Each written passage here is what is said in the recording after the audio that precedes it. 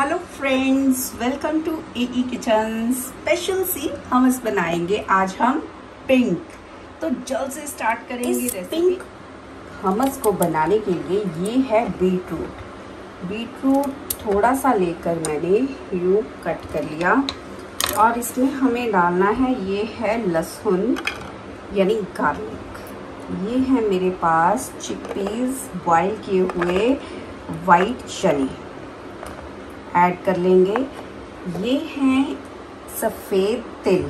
Sesame seeds हैं white ये भी ऐड कर लेंगे। और इसमें जाएगा थोड़ा सा जीरा। थोड़ा सा और इसमें हम डालेंगे ब्लैक पेपर, यानी काली मिर्ची। इतनी सी काली मिर्च भी ऐड कर लेंगे।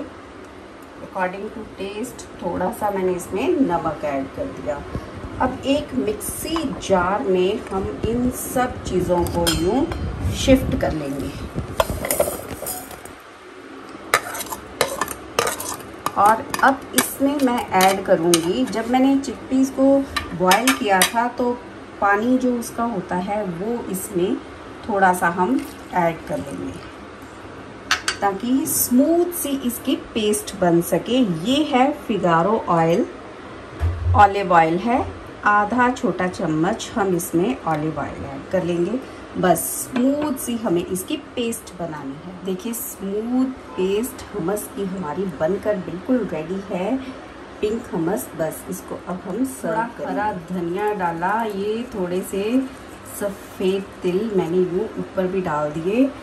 देखने में बहुत सुंदर लगेगा और मेरे पास हैं ब्लैक वाले तिल। काले सेसमी सीड्स हैं।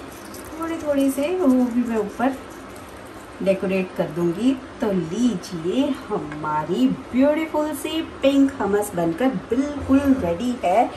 इसको आप अपनी मनपसंद क्रैकल के साथ सर्व कीजिए। किसी भी तरह के बहुत मज़ेदार लगती है। ट्राई कीजिए और कमेंट्स में भी ज़रूर बताइएगा कि आपको आज की ये डिफरेंट सी न्यू सी रेसिपी फ्रेंड्स कैसी लगी।